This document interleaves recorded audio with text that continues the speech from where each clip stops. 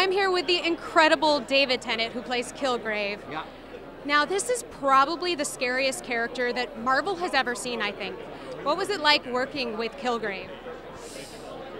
Well, it's rather delicious. Uh, you know, it, it's a beautifully uh, complicated character because he, he has this ability, which of course absolutely defines everything around him. He, he lives in a in a, a bubble of acquiescence where every, his every wish is is um, is obeyed, uh, and that creates an interesting psychology. That makes for someone who. Uh,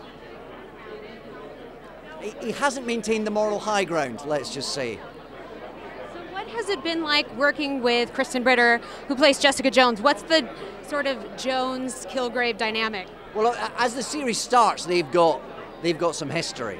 Um, and, and, and, a lot of what this, this, story is about is uncovering exactly what went on and why Jessica has been so damaged by Kilgrave and what he did to her, and, and, and that's uh, that's part of the mystery of the show. And of course, it means that these two characters, and it's a while before they meet. You know, it, it, it takes its time to finally bring them together, but there's a sense that there's an inevitable unfinished business that has to be dealt with.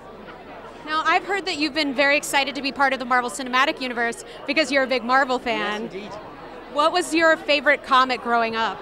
Uh, I think the it was probably the Hulk. That was the one that I used to really uh, uh, get excited about. Uh, I, I, just loved the, the, the sort of slightly anti-hero-ness of him, like the, the fact that he was misunderstood, the fact that he was tortured.